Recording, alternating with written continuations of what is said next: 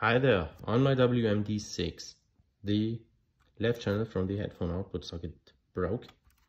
It just died and I didn't know what it was caused by, so I did a little bit of measurement. And there's a little crack on the board, as you can see on my exemplary. Uh, this is this, this piece of shit right here.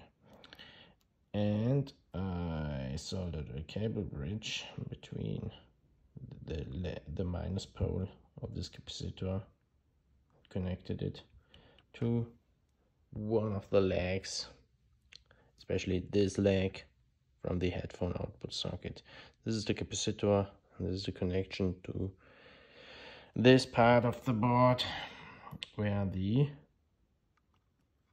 left channel goes into the headphone output socket and now both channels are working.